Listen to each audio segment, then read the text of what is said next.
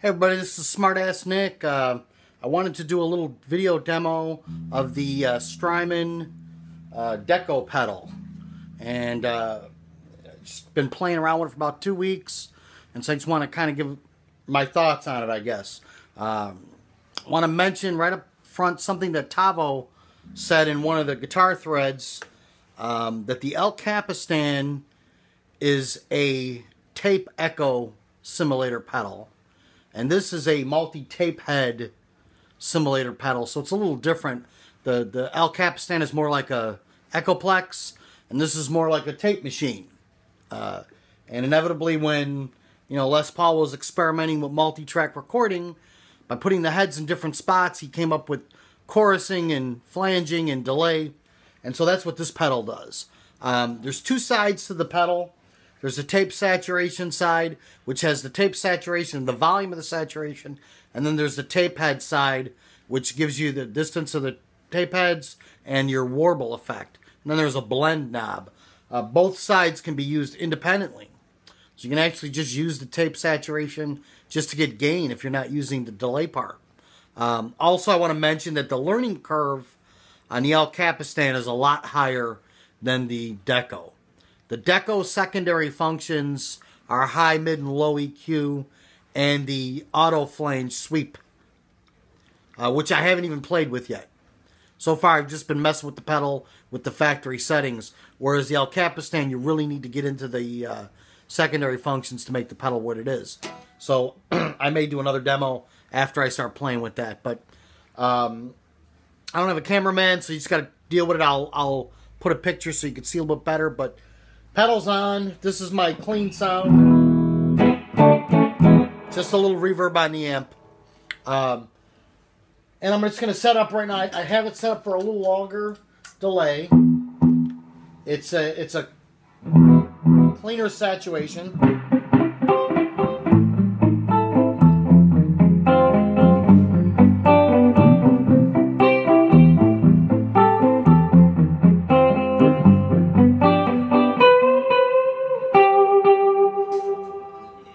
Back the blend down just a little bit. And you can add in out. I'm to add in the Dyno Brain to show you that it still works with that.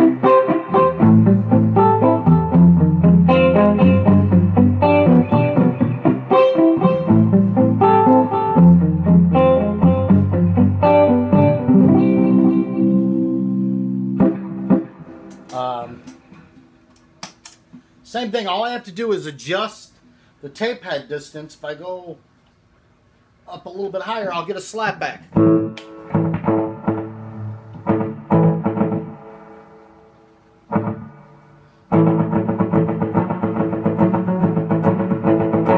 Same thing, I'll add the dyno brain in.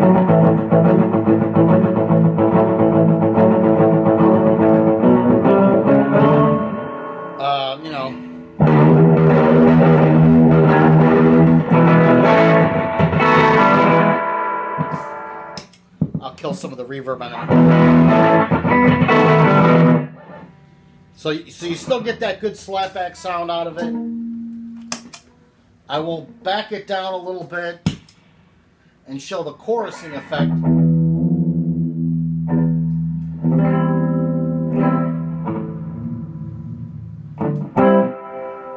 And we'll just increase the warble a little bit. So for the chorusing,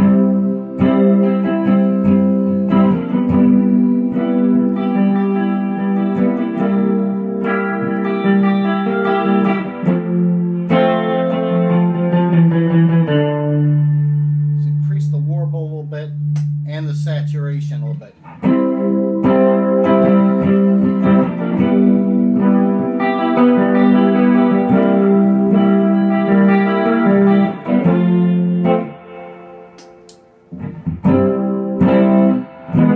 So you get a chorus sound, and then I can actually, I'm going to increase the saturation a little bit and go into a flanging setting.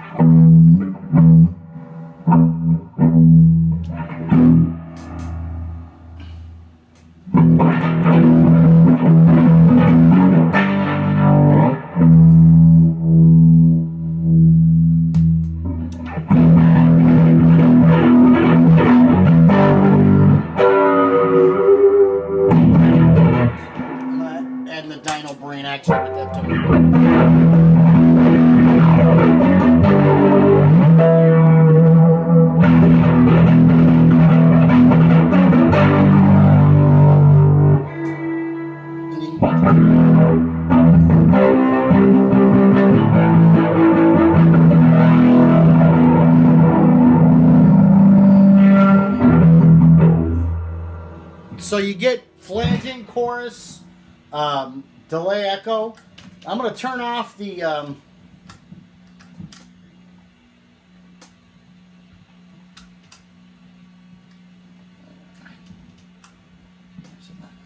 and I'm just going to play with the um, the the uh, saturation side of the pedal. So I'm going to lower it down. There's the saturation lower.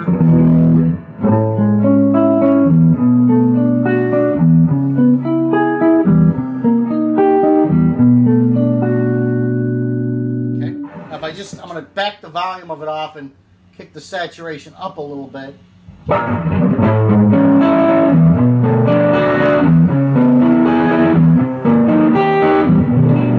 can see it's biting a little bit more. You can also see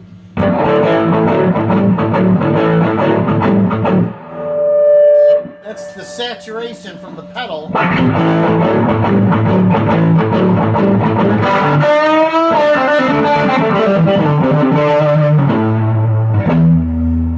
I turned it off.